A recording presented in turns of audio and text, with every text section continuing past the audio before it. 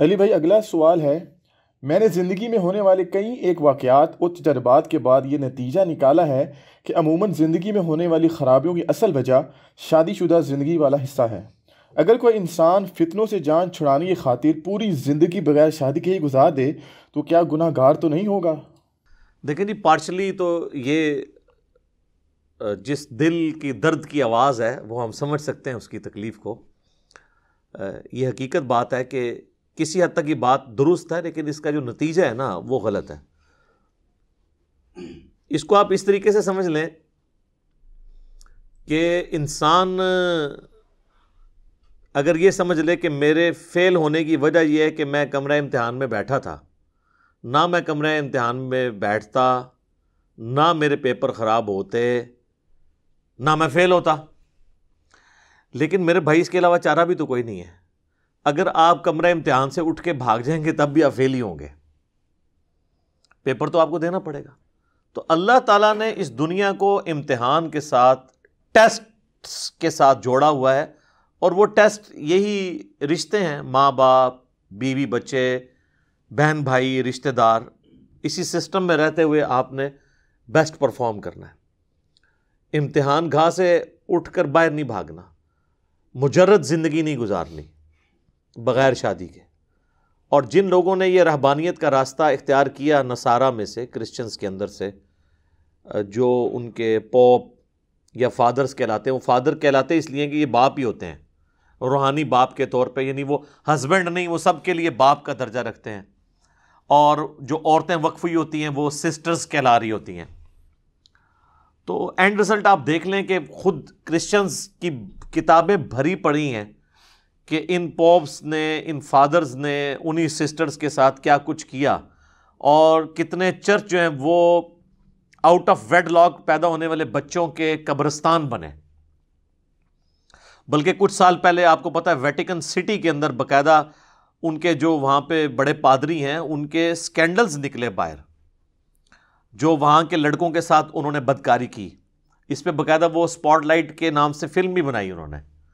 बहरल ये उनको सलाम है, कम अज़ कम उन्होंने अपने बुज़ुर्गान दीन को और क्राइम को या कराम कह लें बेनकाब किया यहाँ तो किसी की ज़रूरत नहीं है कि इस तरह की कोई बात कर जाए। तो इसलिए फिर वो लर्न भी करते हैं इस तरह के सिस्टम की, जो ख़राबी हैं उसको इम्प्रूव भी करते हैं। तो रहबानियत की ज़िंदगी का फिर एंड रिज़ल्ट यही निकलता है। क्योंकि सेक्स सबसे इंपॉर्टेंट जज्बा है, ये तो फ्राइड भी मानता है। कुरान हकीम ने तो बहुत पहले ये बात कर दी थी। जुयन से हब्ब शहवात मिनसा अल्लाह ने मुजयन कर दिया इंसान के लिए जो लज्जत वाली चीज़ें अट्रैक्टफुल चीज़ें, उनमें पहली चीज़ औरत का फितना है। फितना ये पंजाबी वाला नहीं है नेगेटिव वर्ड नहीं है, ये पॉजिटिव वर्ड है। आजमाइश टेस्ट ये कोई औरत के लिए कोई गलत लफ्ज़ नहीं नाउज़बिल्ला ना उसकी तोहन है। ये अरबी में फितना है। जिस तरह आया सुर अतगाबुन में, इन्नमा अमवालुकुम व औलादुकुम फितना। तुम्हारे माल और औलाद इसके सिवाय कुछ नहीं है कि वो तुम्हारे लिए फितना है। यानी आजमाइश है। ये नहीं है कि औलाद को मार देना है और माल ज़ाया कर देना है। बल्कि ये आजमाइश का ज़रिया है। इसी सिस्टम में रहते हुए आपने बेस्ट परफॉर्म करना है। जिस तरह एक कश्ती या बैरी जहाज़ पानी के ऊपर चलता है, ये उसकी मजबूरी है। अब आप ये कहें कि जी पानी में गया तो डूब भी सकता है, लिहाजा चलाते ही नहीं है तो आप मंजिल पे तो नहीं पहुँचेंगे। उसी पानी पे चल के आपने मंजिल तक पहुँचना है, लेकिन उस पानी को आपने जहाज़ के अंदर नहीं दाखिल करना, वरना तो फिर बैठ जाएगा जहाज़। बस उतना ही रखना है जितना आप उससे नफा उठा सके। आप अगर उसको अपने सर के ऊपर सवार कर लेंगे और एक लिमिट को क्रॉस कर देंगे, फिर वही चीज़ें आपके लिए मुसीबत का बायस बन जाएँगी। तो ये मियाँ बीवी का जो रिश्ता है, औलाद का रिश्ता है, माँ बाप का रिश्ता, ये सब के सब अल्लाह ने टेस्ट रखे हुए हैं। आप इससे हट के ज़िंदगी नहीं गुजार सकते। इसीलिए पैगम्बरों की ज़िंदगी को हमारे लिए रोल मॉडल करार दिया है अल्लाह ताला ने। लक़दकान लकुम फ़ी रसूल उसवतन हसना। बेशक रसूल्ला की ज़िंदगी में तुम्हारे लिए बेहतरीन नमूना है। वैसे ये आयत तो स्पेसिफ़िकली जिहाद के हवाले से आई थी, गजब खंदा के मौका पर, लेकिन ये जनरल भी है। उल इनकुन तुम तो हिब्बून अल्लाह फ़तबिऊनी युहबिबकुमुल्लाह नबी फ़रमाओ इनसे कि अगर तुम अल्लाह से मोहब्बत का दावा रखते हो तो फिर मेरी इतबा करो। फिर अल्लाह भी तुमसे मोहब्बत करेगा। मैं युत रसूला फ़कद अता जिसने रसूलुल्लाह की इतात की, गोया उसने अल्लाह की इतात की। तो रसूल तो शादियाँ करते हैं, रसूलों के बच्चे भी होते हैं। अगरचे काफिर इसी चीज़ को कुरान पाक में टोंट भी करते हैं, ये कैसा रसूल है, इसकी बीवियाँ हैं बाज़ारों में चलता है, खाता पीता है। तो अल्लाह ताला ने कहा कि ज़मीन पे अगर फरिश्ते आबाद होते तो फरिश्तों में से रसूल आता। सूर्य बनी इसराइल में आया, सूरतुल फुरकान में तो कई एक यानी वो अलकाबात काफिर मुसलमानों को तंग करने के लिए रसुल्ला के ऊपर फप्तियाँ कसते थे नाउज़बिल्ला तो अल्लाह ने नकल किए कि भाई यार, ये इस तरह की बात तो ना करो। यानी अगर रसुल्ला शादी ना करते तो इन्होंने कहना था, इसको हम कैसे आइडियल माने कि जिसकी बीवी नहीं है? तो इसको क्या पता कि औरत से क्या इंसान को तकलीफ़ पहुँचती है? अब तो सर, सूरतुल अहज़ाब गवाह है कि रसूलुल्लाह को भी तकलीफ़ें पहुँची हैं अपनी बीवियों से। तो आप उम्मत के लिए रोल मॉडल हैं। आपकी बेटियों को तलाक हुई, आपकी बेटियाँ आपकी ज़िंदगी में फौत हुई, ये सारी तकलीफ़ से आपको गुजरना पड़ा। तो ये आपका टेस्ट है।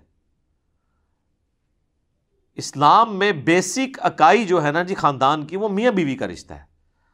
माँ बाप, बहन भाई, ये सब बात के हैं। इसलिए देखें, पूरे कुरान का ताना बाना जो है ना, वो आयली ज़िंदगी में मियाँ बीवी के रिलेशनशिप के गिर्द घूमता है। अहदीस में भी आप देखें, मियाँ बीवी का रिलेशनशिप और इससे रिलेटेड सारे मामला क्योंकि वो बेसिक यूनिट है। और ज़ाहिर है वो तो डिपेंडेंट है शादी के ऊपर। आपको शख्स कहता है, मैंने शादी ही नहीं करनी है। ये तो उसी तरीके से है कि मैंने तजर्बात से ये रिज़ल्ट निकाला है कि रोड पे एक्सीडेंट इसलिए होता है कि लोग गाड़ी लेकर रोड पे आते हैं। तो मैं तो अब रोड पे सफ़र भी नहीं करूँगा। ये तो सर फिर दुनिया में तो इस चीज़ का कोई एंड ही नहीं होगा। ये आपका टेस्ट है। इसकी वजह से आपने उस चीज़ से पीछे नहीं हटना। और अल्लाह ताला तो इसको फ़खरिया तौर पे कुरान में बयान करता है सूर अनसा जिसका नाम ही है औरतें। उसकी पहली आयत क्या है? या यूहन्नासतक़ू रब्बकुमुल्लदी खलकुम मिन नफ्स वाहिदा।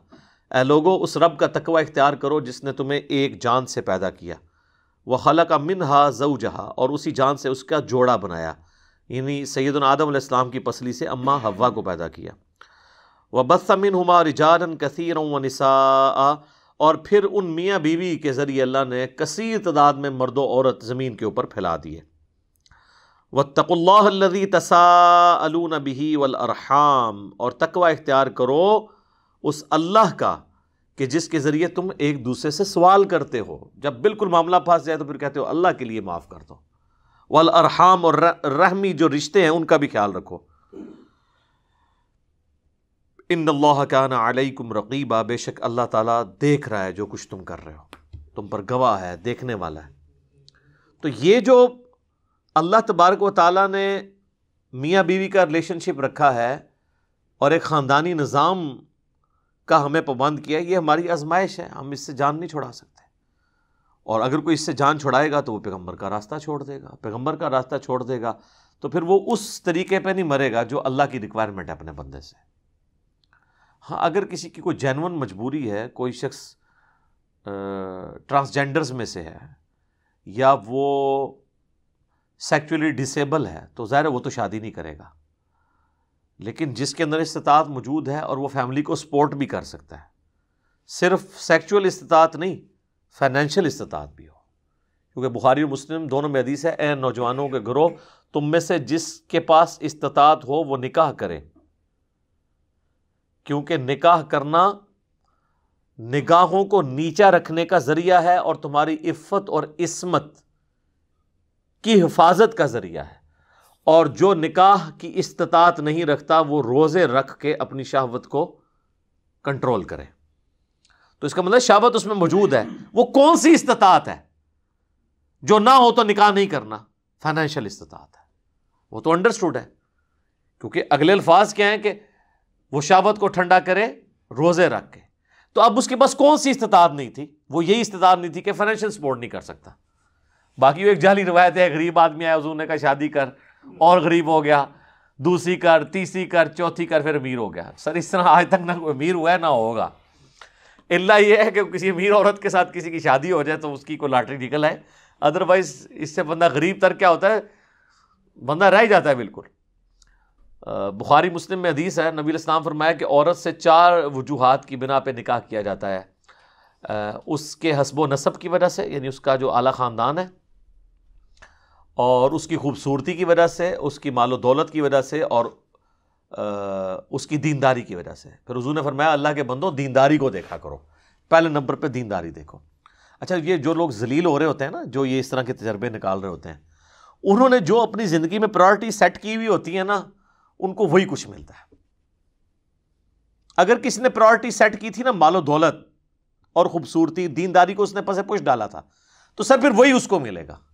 और जिसने दीनदारी को प्रेफर किया था ना, आप देखें कितनी कितनी परहेजगार औरतें उनके रिश्ते सिर्फ़ इसलिए रिजेक्ट हो जाते हैं कि ये पर्दा करती हैं, ये ऑर्थोडॉक्स हैं।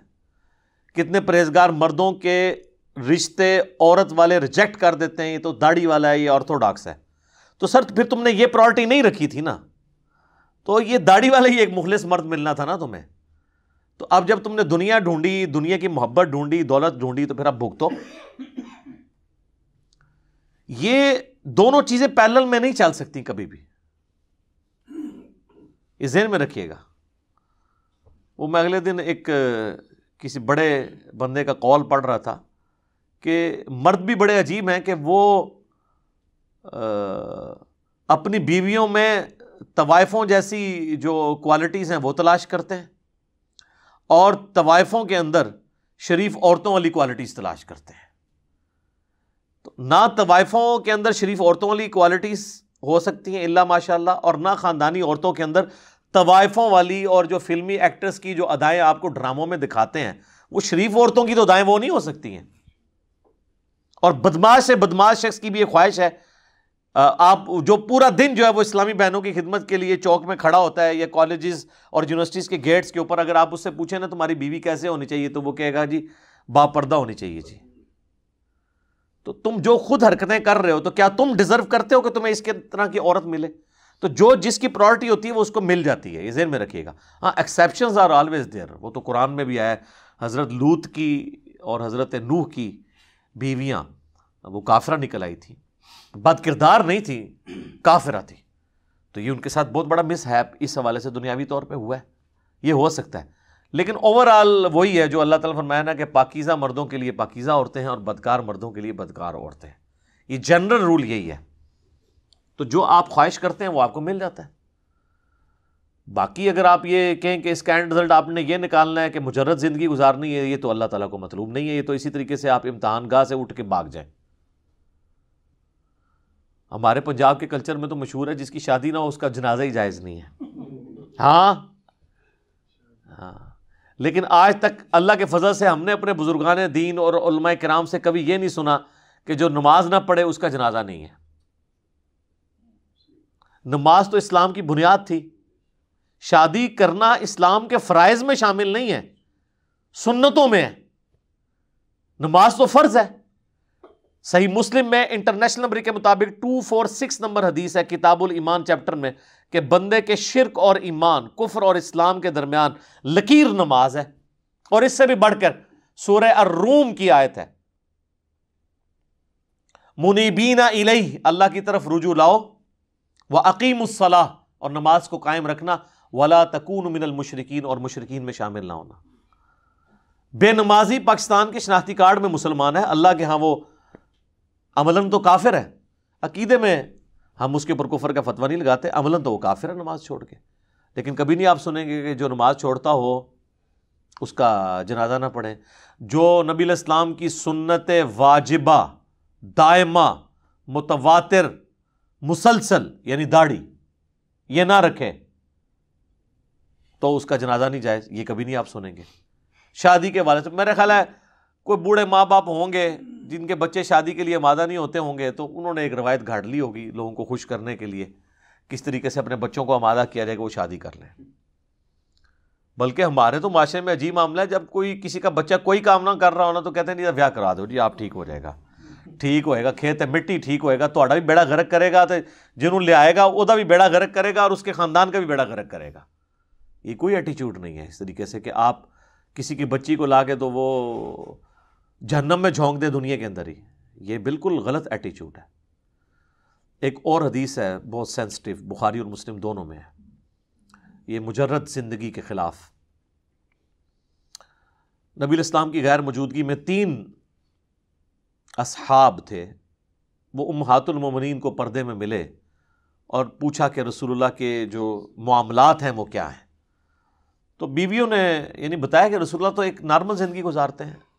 आप इस्लाम नफली रोज़े रखते भी हैं छोड़ भी देते हैं रात को सोते भी हैं और इबादत भी करते हैं। बाकी शादियाँ तो आपने की हुई हैं।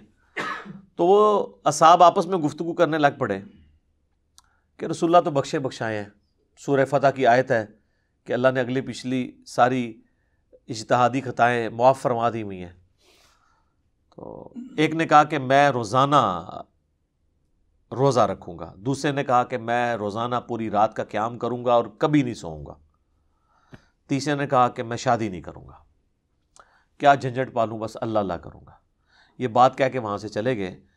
जब वापस नबी इस्लाम घर तशरीफ़ लाए तो आपकी उम्माद ने बताया कि जिस तरह आपके चीते आए थे तीन, और वो चीते इस तरह के दावे कर, ये चीते लफ्ज़ मैंने इस्तेमाल किया एक्टिवनेस के बारे में, कि उन्होंने इस तरह के दावे किए तो हजूर ने कहा, बुलाओ उनको।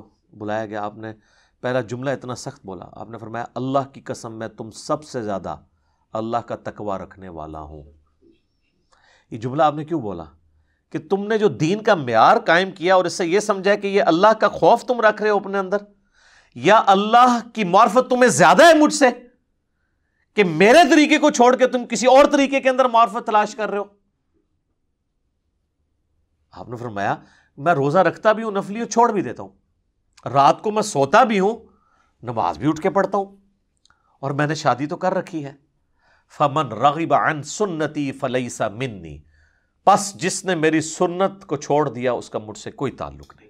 वैसे तो इसको हम उमूमन निकाह के साथ जोड़ देते हैं, इसके साथ जुमला भी बोल देते हैं निकाह सुन्नति। वो बुखारी मुस्लिम में तो नहीं, और जगह अल्फाज है, लेकिन वो इम्प्लाइड बिल्कुल बिलमफूम तो बात ठीक है। आपने इन तीनों चीज़ों को कंसिडर किया है ना, कि पूरी रात को ना जागना रोज़ाना रोज़ा ना रखना और शादियाँ करना, ये सब हजूर की सुन्नतें हैं। तो जिसने इस सुन्नत से इगराज किया, उसका मुझसे कोई ताल्लुक नहीं। फिर बुखारी और मुस्लिम दोनों में हदीस है, अब्दुल्ला बिन अमर बिन आस की शिकायत उनकी बीवी की तरफ़ से रसुल्ला तक पहुँची कि ये पूरी रात नमाज़ें पढ़ता है, मुझे टाइम नहीं देता। आप इस्लाम ने बुला के कहा कि, अब्दुल्ला, मैंने तेरे बारे में ऐसी बात सुनी है। क्या ये दुरुस्त है? क्या यार रसुल्ला दुरुस्त है। तो आपने फरमाया कि तेरी आँखों का भी तुझ पे हक है, तेरे जिस्म का भी तुझ पे हक है, तेरी बीवी का भी तुझ पे हक है। इस तरह पूरी रात को जागेगा तो अंधा हो जाएगा। और आपको बताया जाता है कि सूफिया जो है नमक का सुरमा लगाया करते थे चालीस साल तक हती कि उनको नींद आना ही बंद होगी नींद के अखें मर गई गया नमक का सुरमा लाने नाल। ये कौन सा दीन है? आप कहते हैं सुबहान अल्लाह। अच्छा ये जो हदीस मैंने पहले बयान की ना, वो तीन असाब वाली, इस पे माम बुखारी ने बाप बांधा है कि इबादत के अंदर गुलूफ करना, यानी इस्लाम में इसकी कराहत है। जो आप फखरिया कहते हैं ना, शेख अब्दुल कादर जिलानी ने चालीस साल तक इशा के फजू से फजर पढ़ी तो किस सुन्नत पे अमल किया? उन्होंने नहीं किया होगा, झूठ मंसूब किया। या वहाँ मुरीफा की तरफ़ हाँ ये हो सकता है कि वो फजर से आधा घंटा पहले उठते हो इशा पढ़ते हो, फिर उसी वज़ू से आप फजर पढ़ लें। मैं तो आपको उससे भी आसान तरीका बताता हूँ। आप नमाज़ जमा भी कर सकते हैं, आप मगरब के वज़ू से भी फजर पढ़ सकते हैं। फजर का वक्त दाखिल होने से आधा घंटा पहले उठें, मगरब पढ़ें, साथ ही शाह पढ़ें, नमाज़ जमा करना तो सुन्नत है। मुस्लिम शरीफ में ऊपर तले दस अदीस हैं, आप हालत हज़र में भी कर सकते हैं। जवाज़ मौजूद है तो आप करें नमाज़ जमा, ठीक है? तो ये इस तरीके से मतलब आप दीन को प्रेजेंट करेंगे। तो नबी इस्लाम ने उनको डांटा और फरमाया, तेरी बीवी का हक है, तेरे जिसम का हक है, तेरी आँखों का हक है।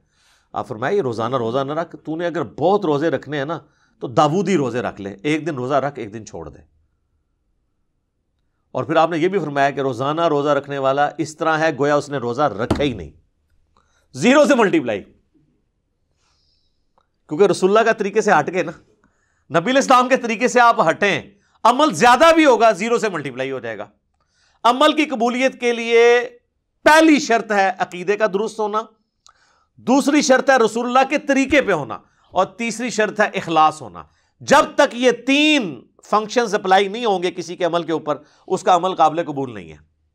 अकीदा दुरुस्त नहीं है, अमल ज़ीरो से मल्टीप्लाई अकीदा दुरुस्त था, जो अमल किया वो रसुल्ला की सुन्नत से हट के है अल्लाह ने आप अकीदा नहीं आपका देखना, अमल मेरे नबी के तरीके से हट के है ज़ीरो से मल्टीप्लाई अमल भी रसुल्ला के तरीके पे था, अकीदा भी दुरुस्त था, लेकिन किया गैरुल्लाह के लिए, रियाकारी के लिए, इखलास नहीं था, ज़ीरो से मल्टीप्लाई जनाब, अल्लाह बड़ा डाढ़ा है। हाँ अल्लाह ताला बहुत गैरतमंद है। ज़ीरो से मल्टीप्लाई कर देता है चीज़ों को। तो यहाँ पे भी आप देखें कि अब्दुल्ला बिन अमर बिन आस को नबी इस्लाम ने इसके ऊपर डांटा कि इस तरह की ज़िंदगी तुमने नहीं गुजारनी, बल्कि शादीशुदा ज़िंदगी को इस्लाम में प्रेफर किया गया है। और इसके ज़रिए ही आप इफ़्फ़त और इसमत की अपनी हिफाजत कर सकते हैं। निगाहों का नीचा रहना इसकी वजह से है। आप बेहयाई के कामों से बच इसकी वजह से सकते हैं।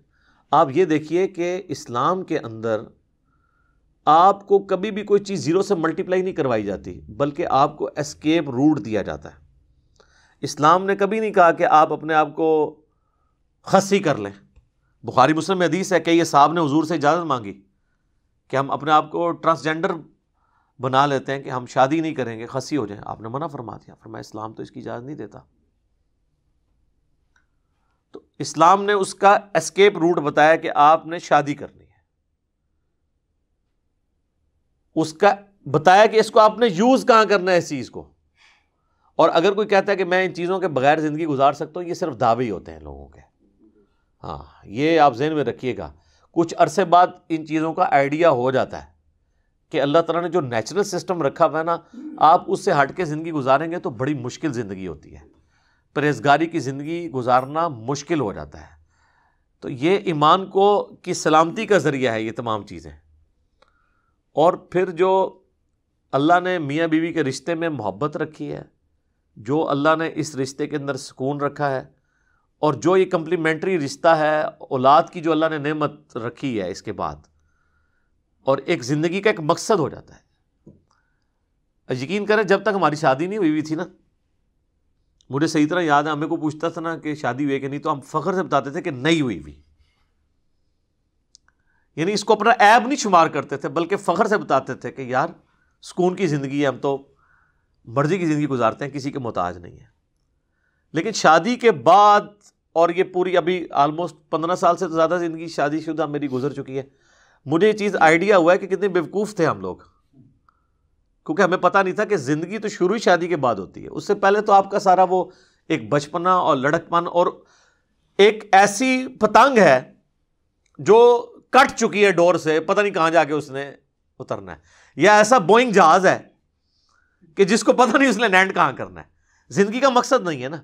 लेकिन शादी के बाद जो कंवारे हैं, उन्होंने नाराज़ नहीं होना। ठीक है ना? ये एक रियलिटी है, इसको एक्सेप्ट करें। ठीक है? अच्छा और सबसे बड़ी रियलिटी ये है कि यार, मेरे नबी का तरीका है, सल्लल्लाहु अलैहि वसल्लम। ये कोई ऐसी बात नहीं है कि जिसको हम करते हुए शर्माएँ। सबसे बेहतरीन तरीका तो वो है ना खैर हदी हदी मोहम्मद सल्लल्लाहु अलैहि वसल्लम। ठीक है?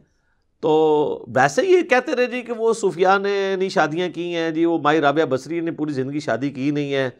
और फिर अजीब गरीब उनके वाक़ात लिखे हुए होते हैं उन्होंने कि जी वो उनके पास आके उन सूफिया दर्स लिया करते थे उनसे।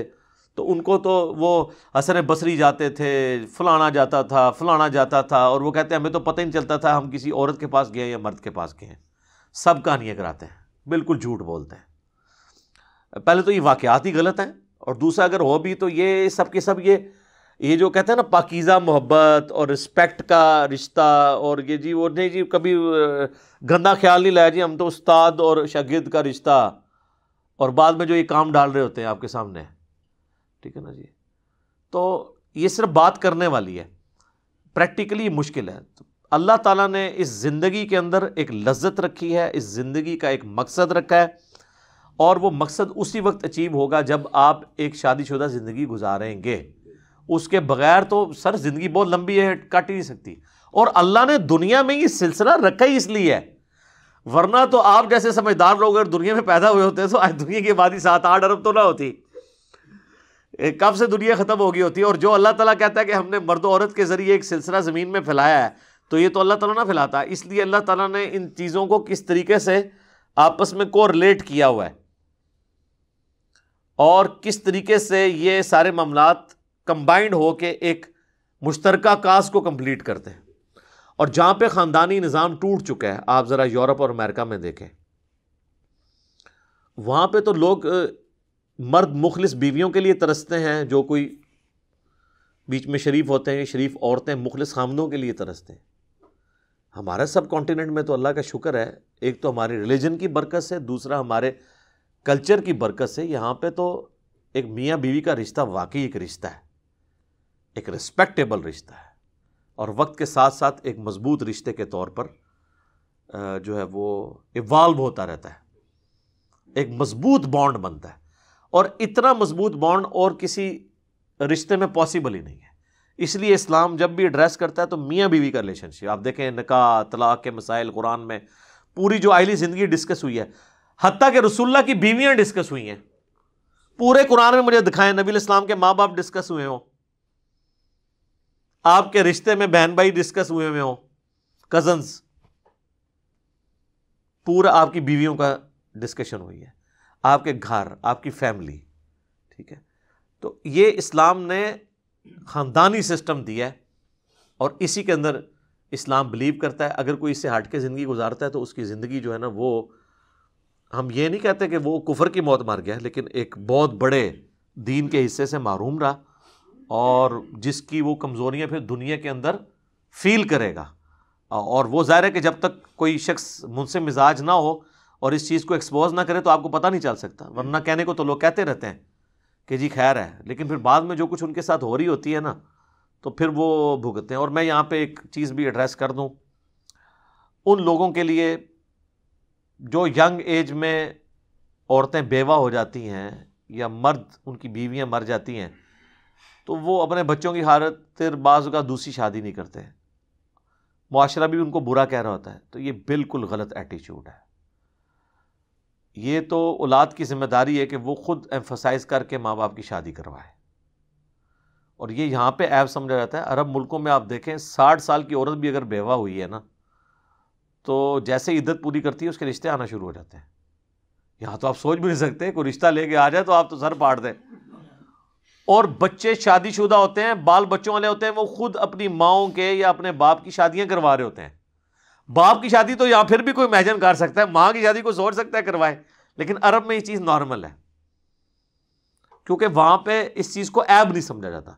हमारे यहाँ पे रिलीजन के साथ साथ कई एक कल्चरल चीज़ें अजीब व गरीब किस्म की दाखिल हो गई हैं। और जिसकी वजह से बड़ी मुसीबत खड़ी हो जाती है ऐसे लोगों के लिए। तो मुझे बताएँ, हिंदुओं में जो ये रस्म थी कि अगर किसी का खामन मर जाता था तो सत्ती की रस्म थी, औरत को भी उसके साथ ही उसकी चिता जला दी जाती थी। तो किसी तरह का काम तो आप भी कर रहे हैं कि जब एक जवान औरत बेवा हो जाती है तो उसके साथ शादी करने के लिए कोई तैयार नहीं होता या उस, उसकी शादी करवाने के लिए नहीं कोई तैयार होता तो एक तरह की तो आपने भी उसकी चिता को आग लगाई दी है। पूरी ज़िंदगी के लिए उसका आपने एक मुश्किल में डाल दिया। किसी हद तक तो ये भी हो रहा होता है ना। तो ये एक इस चीज़ का तल्ख पहलू है, इसलिए मैंने चाहा कि इसको भी यहाँ पे एड्रेस कर दूँ। बाकी ये है कि जी, जिनकी शादियाँ नहीं हुई हैं, अल्लाह ताला जल्दी जल्दी शादियाँ करवाए जी उनकी। और जो शादियों की आजमाइश से गुज़र रहे हैं तो अल्लाह ताला उनको इस आजमाइश में कामयाब करें। ये तो अल्लाह ने आजमाइश का ज़रिया रखा है। ठीक हो गया जी।